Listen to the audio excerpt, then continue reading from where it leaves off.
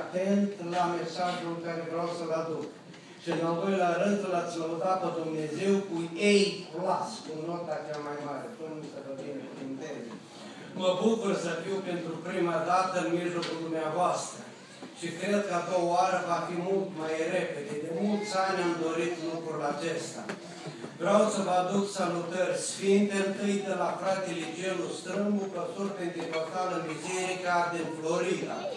Eu am locuit în Florida 20 de ani, am fost prieten foarte bun cu el și cu biserica respectivă de acolo. De asemenea, fratele Gabriel Fazecaș, care dumnealui ne-a cununat în anul 1982. Ieri va trimis salutări sfinte, că i-am spus că am să vin la Montreal și mi-a spus să scriu o carte, Minunea lui Dumnezeu sub ochii mei. Sunt plecat în România să mă introduc și am să fac lucrul acesta foarte scurt și foarte repede. Sunt plecat din România la vârsta de 18 ani în 1972. Am plecat din nou în România anul trecut, după 43 de ani și România a fost foarte schimbată. Timpul meu mai mult l-am petrecut în America, între biserici americane. În anul 1978 am devenit cetățean american și mi-am schimbat numele de Dwight Barrows. Dwight a fost evanghelistul Moody, care nu e departe de locul unde locuiesc eu în Massachusetts și ambasadorul Statelor Unite de la Viena, Edward Goodrich, un om credincios, mi-a dat o carte cu viața lui Dwight Moody. Am ajuns în America pe 24 februarie, ianuarie 1973 și după patru ani de zile m-am întors la Dumnezeu. Persoana care m-a adus la Domnul Isus Hristos a fost Cliff Barrows, dirijorul corurilor de la evangelizările lui Billy Graham. Și am spus, frate Barrows, în doi ani de zile, când eu am să devin cetățean american, am să-ți iau numele. Și mulțumesc Domnului și numele meu este Dwight Barrows. În anul 5 ani mai târziu, în anul 1982, m-am căsătorit cu cea mai frumoasă fată unică care am găsit-o româncă în Detroit, Michigan, doi În urma acestei afaceri de dragoste au ieșit cei cinci copii ai noștri, patru băieți care toți sunt ofițeri în armata americană. A cincilea copil al meu e Camelia, și mulți ani de zile, până recent, când s-a născut primul nostru nepoțel, am crezut că e singura persoană care nu m-a supărat niciodată. Tot ce face e perfectat, exact așa ca tine să în față. Și Camelia Bebe al meu, anul acesta a terminat școala de drept și vrea să ajungă judecător în tribunalul militar. Viața e lungă, e tânără, toți încredincios și am dus cu Domnul Isus Hristos în Statele Unite, totul e posibil. După căsătoria noastră ne-am mutat în Florida, eu locuiam în New Jersey, soția mea e din Detroit și ne-am mutat în, am stat în Florida în luna de miere 20 de ani. În luna de miere am făcut studiile mele teologice de 8 ani de zile și am lucrat ca misionar în America de Sud, în mai multe țări. În anul 2000, după 20 de ani într-o biserică americană, m-am mutat în Massachusetts și am putea să-i spuneți Massachusetts și am uh, fost păstor la, o, la două biserici de limbă română mai mulți ani de zile. De câțiva ani de zile încoace lucrez în biserici americane din statul Massachusetts și New England, adică cele șase state de nord-estul Statelor Unite.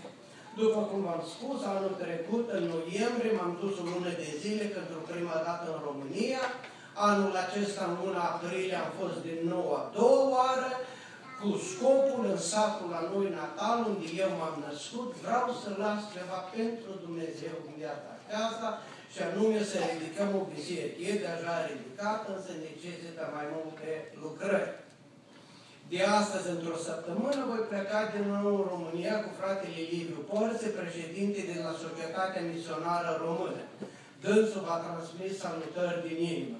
Și de data aceasta, prima dată, și soția mea Doina vine cu mine după 36 de ani de America. Vă rog să vă rugați pentru noi și să ne portați în rugăciune. La sfârșitul serviciului am aici o masă întreagă cu cărți, vreau să vă spun că nu sunt cărți de vândut, nu facem profit, nici nu ne scoate ce prețurile lor, dar sunt o donații. Banii se folosesc pentru lucrare misionară din România. S-au tradus cele mai bune cărți în limba română. Zece oameni au lucrat la fiecare traducere din punct de vedere literar, gramatical, teologic și așa mai departe. Majoritatea sunt ultimele care le mai am aici. Vreți să ajutați lucrarea Domnului? Se face cu bani, cu rugăciune și cu sacrificiu. Și acum să ne întoarcem la cuvântul lui Dumnezeu. Am înțeles că aici la dumneavoastră serviciul se termină în biserică când pastorul spune cel mai iubit cuvânt care voi așteptați. Amin. Amin. Și mă rog ca Domnul să vă dea răbdare. Am chef, cum spun românii, să predic cuvântul lui Dumnezeu nu mă grăbesc, așa că dați scaune pe spate și călătorie Din cele șase mii de persoane menționate pe paginile Sfintelor Scripturi, e un bărbat cu numele de Iacov. Numele de Iacov pe paginile Sfintelor Scripturi al Vechiului Testament, vreau să vă spun că de 40 de ani de când eu predic Evanghelia, predic Vechiul Testament. Eu sunt un om al Vechiului Testament. Și cu cât mă învechesc mai mult, cu atât mai mult îmi place Vechiul Testament. Și de aceea, prima dată la dumneavoastră, am vrut să vă lăs cu ceva bun, ceea ce îmi dă Domnul Duhul Sfânt îmi pune pe inimă, ca o amintire pentru dumneavoastră, dar tot așa de mult să fie o apropiere a noastră de Dumnezeu. Mă rog Domnului ca Duhul Său cel Sfânt să ne cerceteze în seara aceasta și să oglindească din ceea ce o spun, rog, să spun cuvintele Domnului, viața noastră ca și oamenii lui Dumnezeu, trecători, călători pe pământ. Din toată istoria Vechiului Testament, din toată istoria Bibliei, probabil, cred eu personal, mi-am făcut ideea aceasta că nu e nicio persoană din cele șase mii menționate să reflecte, să arate așa de mult viața ta și viața mea, viața noastră ca și oameni ai lui Dumnezeu, călători, trecători pe pământ, cum este Iacov. În introducerea aceasta vreau să scot în evidență două adevăruri, două principii în care Iacov, viața lui, trecătoare pe pământ, relația lui cu Dumnezeu, arată așa de clar, e așa de actualmente viața mea și viața ta. Primul lucru care vreau să-l scot în evidență, că Iacov, chiar de la nașterea lui, când îl trage de călcâi pe fratele său, a vrut să fie un om binecuvântat a vrut să aibă tot mai mult, tot mai mult, tot mai mult. A vrut să aibă bogății, a vrut să aibă binecuvântări. Mulți ani mai târziu, Iacov, patriarhul acesta, tatăl celor 12 seminții, odată în luptă cu îngerul Domnului la pârâul Iabocului, în zorii dimineții spune, nu te lasă pleci până nu mă binecuvintezi. Însă a fost un timp în Iacov. Numele de Iacov în limba română, de fapt, înseamnă excrop, pungaș. Exact așa se traduce Iacov. Vă aduceați aminte când Domnul Iisus Hristos se întâlnește cu Natanael și spune că te-am văzut sub smochin. Îi spune, iată un Iacov. Adică, iată un israelit. Un om când se întâlnește cu Dumnezeu, îi schimbă caracterul, îi schimbă gândirea, îi schimbă viața, îi schimbă destinul său. Și în prezența Domnului Isus Hristos, Natanael primește cuvintele acestea din partea Mântuitorului. Iată un izraelit în care nu se găsește și acum nu scrie Iacov, scrie Vicleșug. Însă Iacov, omul acesta, a avut odată întâlnire cu Dumnezeu la Dânci Bătrânețe, Geneza, capitolul 47, versetul 7. Iacov ajunge înaintea lui Faraon. Îmi dau seama, stând în fața dumneavoastră, că Iacov ajunge în Egipt, Iosif, prim-ministrul din Egipt, îl ia de braț, probabil Iacov șcăpătând, lovit în coapsă de Îngerul Domnului și intră în prezența lui Faraon, cel mai mare om din vremea aceea. Pe o parte și pe cealaltă stă garde de onoare lui Faraon, cu scuturile ale de aur strălucind. Și Iacob trece printre ei, dus de braț de Iosif, fiul său, îmbrăcat probabil ca țărcăcios, ca om de la voi, probabil chiar și mirosea oaie.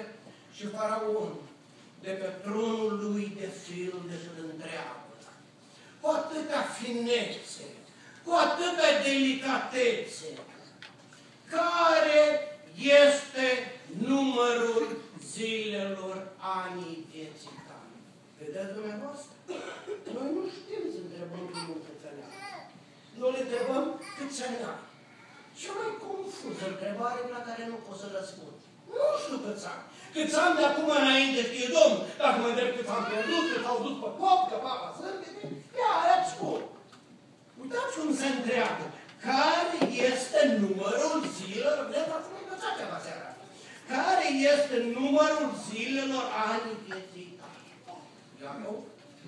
Și el răspunde cu același ton și în același fel. Zilele anilor călătoriei mele sunt 130 de ani. Zilele anilor vieții mele au fost puține la număr de rele și n-au atins zilele anilor vieții părintelor mei în timpul călătoriei. Da, înainte de aceasta, e ceva care nu te-ai gândit? Mulțumesc, frate, mă foarte încet ca să am... Înainte de aceasta să uitați ce spune aici. Iosif a adus pe tatăl său Iacob la înfățișat înaintea lui Faraon și Iacob a binecuvântat pe Faraon, versetul 7.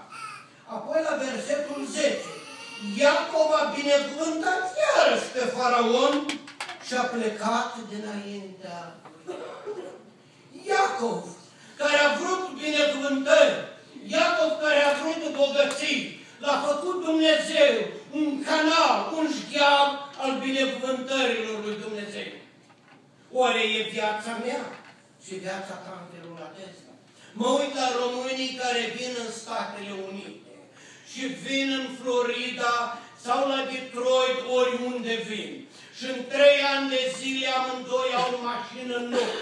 Și în trei ani de zile au casă. Și în trei ani de zile au mobilă nouă și lucrează șapte zile pe săptămână soț și soții. Lasă copiii, Dumnezeu are grijă de ei. Și vin în biserică și dorm două ore, că sunt foarte obosiți, că ei trebuie să lucreze și să plătească credit cardurile și plasticurile alea să le ardă Dumnezeu pentru totdeauna. Pentru că vor să aibă mai mult. Vrem să fim ca lumea. Vrem să avem tot mai mult și tot mai mult. Al doilea lucru din viața lui Iacov care reflectă viața mea și viața ta, e că Iacov a fost un străin călător pe pământ. Uitați ce spune el aici. Zilele anilor vieții călătoriei mele pe pământ. Autorul epistolei către evrei ne spune despre el, ne spune despre Avram, că ei erau străini și călători pe pământ. Spune Iacov aici că zilele anilor vieții mele n-au ajuns zilele părinților mei în călătoria lor. S-a gândit Iacov la tatăl său Isaac, care a umblat cu corturile o viață întreagă. S-a gândit Iacov la Avram, un om foarte bogat, putere de bogat. Și probabil că Iacov s-a întrebat și s-a zis, odată în viață am să ajung ca bunicul meu Avram că toți aceștia au fost străini și călători pe pământ. Însă, călătoria lui Iacov începe în textul care l-am citit în seara aceasta. Iacov, în dorința lui de a avea tot mai mult, fură binecuvântările fratelui său, fură dreptul de întâi născut și apoi pleacă. Și Rebecca, mama lui, spune, du-te la fratele meu la ban stai câteva vreme acolo și apoi vin apoi când se va potoli mânia tatălui tău. Iacov n-a mai avut șansa în viața lui să se întâlnească cu mama lui. S-a despărțit, s-a despărțit pentru totdeauna. Importanța unui fapt. Sunt păcate, dragii mei, care atrag după sine. Nu numai mânia și pedeapsa lui Dumnezeu, dar atrage un preț mare chiar aici pe pământ. Versetul 10 spune că Iacov a plecat în Beersheba și și-a luat drumul spre Haran. În călătoria lui spre Mesopotamie, era curiată, a ajuns într-un loc pustiu și a pus o piatră, s-a culcat și vede panorama aceasta dumnezeiască. Am văzut un tablou la un avocat în Florida cu o pictură cu scena aceasta. O scară înaltă unde nu se vedeau capătul de sus, îngerii Domnului urcă și coboară pe scara aceea. Și aici Dumnezeu îi face lui Iacov o promisiune. Personal, o consider cea mai frumoasă promisiune de pe paginile Sfântului Noi câteodată citim cuvântul Domnului, parcă în limba chineză. Trecem cu vedere. Nu ne dăm seama ce bogății, ce tezauri există în fiecare cuvânt. Uitați-vă aici. Domnul stătea deasupra ei și zicea, eu sunt Domnul Dumnezeu tatălui tău Avram și Dumnezeul lui Isaac. Pământul pe care ești culcat, să-l voi da ție și seminției tale. Și crește aceasta ca într-o scapă. Tot mai mult, tot mai mult, tot mai mari promisiunile lui Dumnezeu pentru ea. Sămânța ta va fi ca pulberea pământului. Din nou și din nou, Dumnezeu face această promisiune lui Avram, o face lui Isaac și acum o face lui Iacov. Te vei întinde la apus, la răzărit, la miază noapte, la miază zi. Și toate familiile pământului vor fi binecuvântate în tine și sămânța ta. Cea mai mare promisiune care o poate face Dumnezeu unui om muritor pe pământ. Și mai mult decât atât, iată, eu sunt cu tine. Te voi păzi pretutindeni unde vei merge. Te voi aduce înapoi în țara aceasta, căci nu te voi părăsi până nu voi împlini ce-ți spun. Promisiunile acestea lui Dumnezeu nu s-au împlinit toate în viața lui Iacov până la moartea lui. Asta înseamnă că eu am să fiu cu tine, Iacov, cel puțin până la mormânt. Și de atunci încoace, semințiile pământului sunt binecuvântate. Iacov s-a trezit din somn și a zis, cu adevărat, Domnul este în locul acesta și eu n-am. Aici e cea mai mare tragedie, probabil, din viața lui Iacov. Nu ne spune Moise când scrie cartea Genezei, comentatorii Sfintelor Scripturi fac aici o pauză și nu știm cum totuși Iacov a primit aceste promisiuni, cum le-a înțeles, dacă el dormea, și cum le-a vorbit Domnul probabil la două ore, nu știu. Ca să fii conștient că Domnul îți vorbește, prima dată trebuie să te trezești de somn. Ca să visurile tale să devină o realitate, trebuie să te trezești de somn. Tineri, tinere, băieți și fete, aveți gânduri înalte și am avut și copiii mei și le-am spus lor ce vă spun dumneavoastră în seara aceasta. Visurile sunt bune, dar trebuie să te trezești de somn ca să te aplicare. Și ceea ce vreau să vă vorbesc în seara aceasta, inconștienți de prezența lui Dumnezeu. Domnul este în locul acesta și eu n-am știut.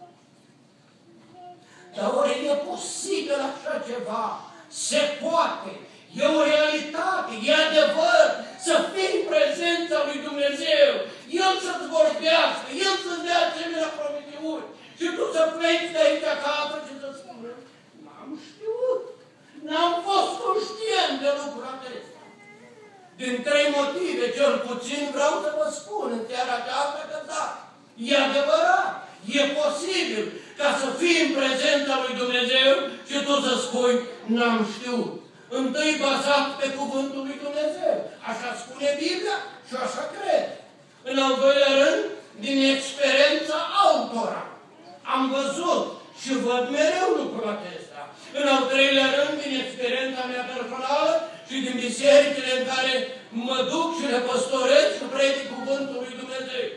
Dacă am fi conștienți că suntem în prezența lui Dumnezeu, am vorbit altfel, am gândit altfel, ne-am comportat altfel, fie la servici, fie în biserică, fie pe stradă, oriunde am merge noi. Însă viața noastră, gândirea noastră, vorbele noastre, de cele mai multe ori, din păcate, dovedesc că noi nu suntem conștienți că suntem în prezența lui Dumnezeu. În cartea lui Isaia, capitolul 6, când Isaia intră în templu și se întâlnește cu Dumnezeu, descrie în primele două versete întâlnirea lui cu Dumnezeu. E ceva zguduitor. Și de în cartea Exodul, capitolul 19 și 20, întâlnirea poporului la Horeb, la Sinai, când dă legea lui Moise. Și începând de acolo, până la intrarea lor în Canaan, la intrarea lor în Canaan, până la sfârșitul cărții de Deuteronomului, 631 de legi și porunci. Și la Horeb se zguduiau munții, oamenii nu mai puteau suporta, pentru că vocea lui Dumnezeu care s-a coborât în fum și în ceață, le spune lui Moise, ai grijă să nu se se apropie nimeni de munte, să nu dea buzna, orice dobitoc se va atinge de munte, va fi omorât cu pietre. Oamenii le era frică în prezența lui Dumnezeu. Mă uit în bisericile americane mai mult, cum vin în biserică, fac din biserică o gară, un aeroport sau un restaurant. Vin când pleacă, plec când pleacă, iau meniu, mănânc mâncare și după mă duc și spun că nu mi-a plăcut mâncare. Foarte interesant că nu mi-a plăcut după ce am mâncat-o toată. Și cam așa se întâmplă și în Biserica Domnului Iisus Hristos. Asta dovedește, asta arată nouă, ne arată faptul că oamenii nu sunt conștienți că sunt în prezența unui Dumnezeu Sfânt. Trei lucruri de pe Iacov n-a fost conștient că e în prezența lui Dumnezeu. Întâi, că Iacov n-a avut o întâlnire personală cu Dumnezeu. Până la textul acesta, până în momentul acesta, Iacov n-a avut o întâlnire personală cu Dumnezeu. Sunt ca mulți din copiii noștri. Au auzit de Dumnezeu. Au crescut la școală duminicală. Au crescut în biserică. Dar ei personal n-ai avut un contact personal cu Dumnezeu. Sau ce predic Evanghelia de la Angon. Și de multe ori poporul se întreabă, frate Severin, dar ce mă încălzește pe mine? Cu ce mă ajută pe mine? Că noi era un om nepreănit din vremea lui. Că Daniel, David și Ilie au fost uriași, giganți ai credinței. Și e cea de-a șapte lege a hermeneuticii, so what? Și ce vrei să spui prin aceasta? E Dumnezeu lui alții. Dumnezeu lucrează frumos în viața ta, în viața ta, în viața ta. Dar eu n-am o relație personală cu Dumnezeu. Eu n-am avut niciodată un contact cu Dumnezeu. Iacov, uitați aici la versetul 13. Eu sunt Dumnezeu tatălui tău Avram și Dumnezeu lui Isaac. Mai târziu spune Dumnezeu. Dumnezeu lui Avram, Dumnezeu lui Isaac și Dumnezeu lui Iacov. Iacov n-a avut o întâlnire personală cu Dumnezeu. De când n-ai avut o întâlnire personală cu Dumnezeu, dragul meu, e cea mai teribilă, groaznică, catastrofală poziție în care ești. pentru că e poziția cea mai înșelătoare, e poziția cea mai ispititoare să te crezi că ești în biserică și nu ești în Hristos. Să te crezi că ești în Împărăția lui Dumnezeu sau ești aproape de Împărăția lui Dumnezeu, dar nu ești în Împărăția lui Dumnezeu. Mă duc aminte că mai mulți ani în urmă veneam cu avionul din America de Sud și pe avion m-am întâlnit cu doi studenți musulmani. Am avut o discuție foarte interesantă cu ei, eu am învățat unele lucruri de la ei, ei au auzit o mărturie frumoasă din viața mea, dar țin minte că printre altele ei m-au întrebat. Erau studenți undeva la New York, vineau în America, băieți foarte inteligenți, foarte învățați. Și m-a întrebat, de ce ești creștin?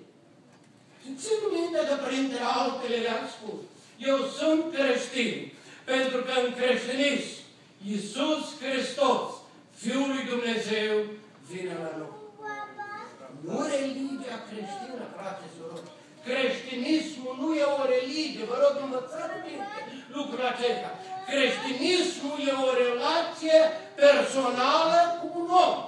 Celelalte religii au seturi de învățături, de decrete, de legi și de practici. Creștinismul e o relație personală cu Domnul Isus Hristos, cu Dumnezeu. Iacov n-a avut întâlnire personală cu mine. Mă gândesc. Nădăjduiesc. Și cum spune americanii, yes, I do have a positive thinking. Adică am o gândire pozitivă. Că fiecare de aici a fost un timp când v-ați întâlnit cu Dumnezeu. Mă uit la programele dumneavoastră mă uit la poporul din față, îmi dau seama, Duhul Sfânt comunică cu mine, îmi face cunoscut că aici e o biserică unde se predică cuvântul lui Dumnezeu, unde se înaltă rugăciuni, unde numele lui Dumnezeu este praslăvit. Poți să stai într-un asemenea loc, duminică de duminică, duminică de duminică, să iei pe cavale să spui, Dumnezeu e în locul acesta. Și eu n-am știut. N-am știut un har deosebit care îl are poporul român. Știți dumneavoastră că de aseară și până seara asta, 100 de mii au trecut în veșnicie. 11 mii pe oră. Asta se traduce la 3 persoane, suflete pe secundă. Uitați-vă la mine. Trei suflete au plecat în veșnicie. 3 miliarde de oameni în lumea noastră n-au intrat într-o biserică, n-au ascultat o predică și n-au văzut cel puțin o parte din cuvântul lui Dumnezeu în limba lor, o cărticică în limba lor, din cuvântul lor. Când ai mulțumit ultima dată lui Dumnezeu că în providența lui divină ai ajuns la Montreal, în Canada, și asculți cuvântul lui Dumnezeu în limba română. Marele om al lui Dumnezeu, Oswald Smith, de la Toronto, de aceea, cu câțiva ani în urmă, la o conferință misionară, a spus, nu este îngăduit de Dumnezeu, nu este drept ca tu și eu să asculți Evanghelia de două ori și altul să nu asculte niciodată. Eu nu vă spun personal, mi-am făcut într-o zi un calcul câte predici am ținut eu, câte predici am ascultat eu la radio, la internet, pe televiziune, din presă. M-am speriat. M-am speriat, nu vă spun. Câte mesaje ai ascultat tu în limba în care te născut. Și să n-ai o întâlnire personală cu Dumnezeu. There is a problem. Un mare am acolo o carte, vă rog să luați, Anthony Flew. Omul ăsta a fost un, un ateu foarte renumit în lumea întreagă. Și omul ăsta a vrut să scrie o carte, după mai mult că a murit cu doi ani în urmă, aici în Statele Unite, a vrut să scrie o carte în care să combată Sfânta Scriptură după literă de lege. A citit, însă avea probleme cu cartea lui Iov. Și a citit cartea lui Iov de 50 de ori. nu putea el pricepe capitolele 36 la 40, la 40 despre toată creația lui Dumnezeu, despre cele câteva sute de întrebări care le pune Dumnezeu lui Iov. De 50 de ore citit cartea lui Iov și în a citit la 50 de ore s-a prăbușit și s-a pocăit. S-a întors la Domnul Isus Hristos. Ei bine, omul ăsta a spus, problema celor care ascultă Evanghelia în limba lor nu este o problemă spirituală, nu e o problemă de inimă așa de mult sufletească, cât e o problemă mentală. El nu consideră că un om normal, cu toate facultățile lui mentale, poate să asculte Evanghelia aceasta și să nu-L primească pe Domnul Isus Hristos. Un al doilea lucru. Al doilea adevăr, de ce Iacov a fost inconștient de prezența lui Dumnezeu. Pentru că în viața lui Iacov era păcat. De aia Biblia vorbește foarte mult despre păcat. Biblia spune că păcatul e o urăciune înaintea lui Dumnezeu. Biblia spune că omul care va păcătui acela va muri. Biblia spune că plata păcatului e moarte. Cu toată economia Statelor Unite, plata păcatului a rămas tot moartea. Biblia spune că toți au păcătuit și sunt lipsiți de slava lui Dumnezeu. Marele proroc al plângerilor Ieremia spune, o, de mi-ar fi capul un cazan cu lacrimi, aș plânge zi și noapte păcatele poporului meu. Păcatul lui Iuda este scris cu un priboi de fier pe altarele lor, pe coarnele altarelor lor. Biblia spune că păcatul e un zid de despărțire care ne desparte pe noi de Dumnezeu. Zidul acesta crește foarte rapid, foarte dras. În fiecare zi se înalță tot mai sus, tot mai sus, tot mai sus. În viața lui Iacov era păcat. Iacov nu putea fi conștient de prezența lui Dumnezeu. Nu contează cum noi numim păcatul și când îl numim. Însă un lucru trebuie să fim conștienți.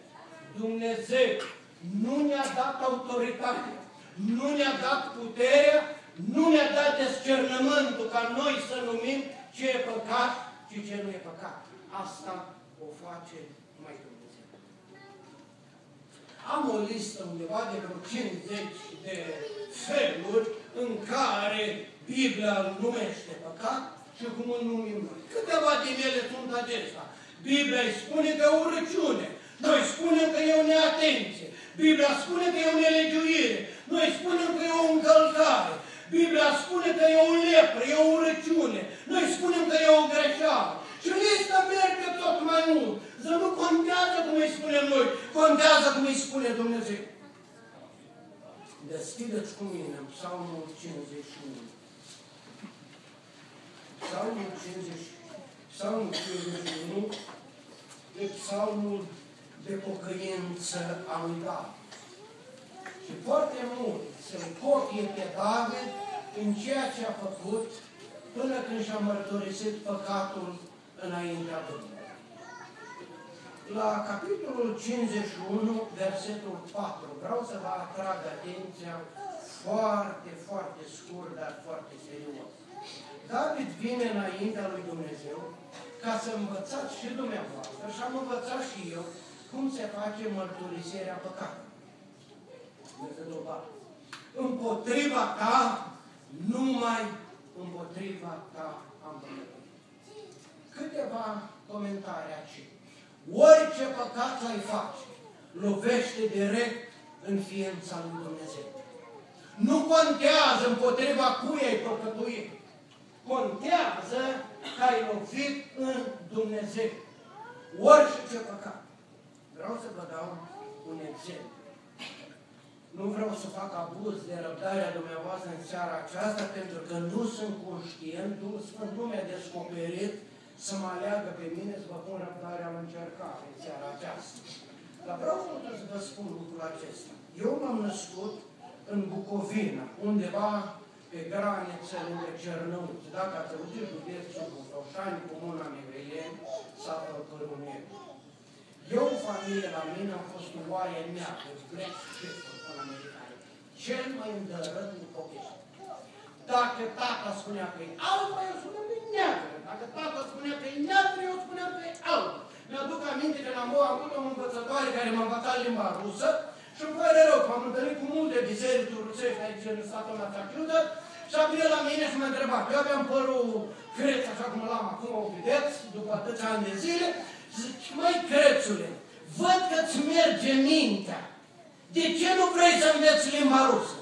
Pentru că tu vrei să învăț și nu vreau să învăț. Dar tu te-a făcut Și am înțeles. Mi-aduc aminte când am împlinit 16 ani de La noi la poartă au fost gard mari, cu porți mari de stejar. Au fost niște stâlpi enorme în poartă. Și mi-aduc aminte că în dimineața de 16 noiembrie, când eu am împlinit 16 ani, a venit la mine tatăl meu, tăticul, și m-a luat de mână și m-a dus la stâlpul casei. Și mi-a spus așa la stâlpul de la poartă, uite ce se vede. De fiecare dată când nu m-ai ascultat, când ai făcut rău, eu am bătut un cui în stâlpul. Frații și surori, m-am uitat atunci în dimineața aia, stâlpul întreg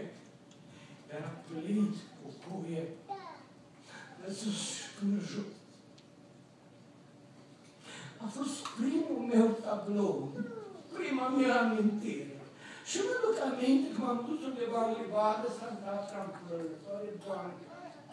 Așa de mult am supărat eu cu părinții mei. Oare așa de rău am fost eu, Doamne. Am fost primul meu contact cu Dumnezeu. Am bătut în. M-am dus în România anul trecut în noiembrie, Și am vrut să mă duc să văd casa unde eu m-am născut. Și m-am dus în nordul Bucovinei, frate Și am văzut jumătate din stâlpul ăla cu semnele cu eu în el. După 45 de ani din America, plus doi ani care am petrecut în România înainte de a veni în stat păcatele noastre, frați și surori, pun că e un cui în curtea Domnului Iisus Hristos. Ne bată la Psalmul 5, versetul 4. Împotriva ta, numai împotriva ta am păcătuit. Am făcut ce este rău înaintea ta. Așa că vei fi drept în hotărârea ta. Cu alte cuvinte, atunci era altă mărturisire de păcate cu 3000 de ani în urmă. Nu mai vezi așa ceva. Azi vine spune, frate, am păcătuit, dar să vezi de ce am păcătuit. Că am fost discutit, că aia vine la mine, eu m-am uitat prea mult la ea, eu mi-a plăcut banii, că la servici dacă îmi dă dublu time, normal nu mă duc să lucrez duminică la servici, că mă plătește de două ori decât în timpul săptămânii. Și venim. David vine înaintea lui Dumnezeu și uite ce spune. Am păcătuit împotriva ta, am făcut ce este rău. Asta cred că ține toți minte. Dar cât de dumneavoastră v-ați gândit la cuvintele acestea? Așa că vei fi drept în hotărârea ta și fără vină în judecata ta. Poate cuvinte, Doamne, dacă Tu mă ierți, dacă Tu bagi păcatul sub covor, dacă Tu treci cu vederea, Tu nu poți să fii Dumnezeu, Tu nu poți să fii suveran, Tu nu poți să fii sfânt, Tu nu poți să fii just, păcatul cere condamnarea. Glasul sângelui fratelui tău strigă din pământ la mine. Păcatul face apel la sfințirea lui Dumnezeu, la dreptatea lui Dumnezeu, la justiția lui Dumnezeu. Păcatul cere condamnarea, păcatul cere pedeapsa. Dumnezeu nu poate să treacă păcatul cu vedere. Atunci ar șterbi caracterul lui Dumnezeu. Numai împotriva ta am păcătuit Asta am făcut, Doamne. Acum Tu găsești soluția. Și aici e minunea lui Dumnezeu. Pentru tine și pentru mine. Dumnezeu, în infinita Lui înțelepciune, a putut să salveze păcătosul și să pedepsească păcatul în Fiul Său prea iubit, Domnul Iisus Hristos, la Calvar. Domnul Iisus Hristos. Toți 40 de ani am lucrat în Florida la Departamentul de Misiune la o biserică americană foarte mare. Și printre cele 150 de țări am avut misionari, țineam legătura cu frate misionari de pe toate meridianele pământului. Și după vreo 45 de ani, s-a întors un frate misionar din India, unde a stat 45 de ani. 45 de ani nu s-a mai întors în Statele Unite. În India, acolo sunt trei caste de oameni, trei feluri, clase de oameni. Cea mai înaltă e clasa Dalet, care e din guvernul, oamenii de lux, de căpătăi din conducerea Indiei. Omul acesta s-a dus și s-a prietenit cu un În India, ca și în țările arabe, nu poți să te duci ca misionar. Te duci cu o miserie, te duci cu un business, pentru că pentru ei cea mai înaltă chemare e să ia viața unui creștin. Pentru ei așa ceva e foarte din egalat. Și omul acesta s-a întâlnit cu hindus din conducerea din guvernul Indiei. A durat vreo 5 ani de zile. Și după 5 ani de zile a văzut hindusul ăsta în omul ăsta și a spus, e ceva deosebit în tine. Văd cum mănânci, văd cum te îmbraci, văd cum vorbești, văd prietenia ta cu mine că tu mă iubești, spune-mi ce e, ce e cu tine. Și el a spus, eu sunt creștin. Și a citit cuvântul Domnului și a dat cuvântul Domnului. S-au împrietenit împreună. Și în cele de urmă îi spune, uite ce, vreau să-ți dau Biblia asta ca să o citești. Și omul ăsta spune, nu, nu pot să iau, n-am voie să o citesc. Măi, dar am citit și eu cărțile voastre, învățătura voastră, hindusă. Ia-o și citește tot. În cele de urmă au ajuns la înțelegerea cu iau, dar în fiecare zi am să-i rup câte o foaie, am să pun în ea tutun și am să o fumez, în timp ce îmi beau ceaiul dimineața pe terasă. E mare problemă cu hârtia. Hârtie de aceasta frumoasă și fratele misionar își spune, uite ce americanul nostru, iau, fumează, dar promitem cu jurământul tău că înainte de a, o, de a face din ea țigări, înainte de a o fuma, citești tot ce scrie pe ea. Și el le-a jurat. Și un indus, când își pune jurământul, el preferă să moară decât să-și face jurământul. Și s-au despărțit. 25 de ani mai târziu. A fost o conferință la Bangladesh cu toți misionari americani care lucrau în Asia. Și fratele acesta, rost de boală, de timp, în cele din urmă, i și-a rămas bun de la frații misionari și ține o conferință. Și în timp ce vorbea, intră de acolo din spate un frate, un om înalt, un indian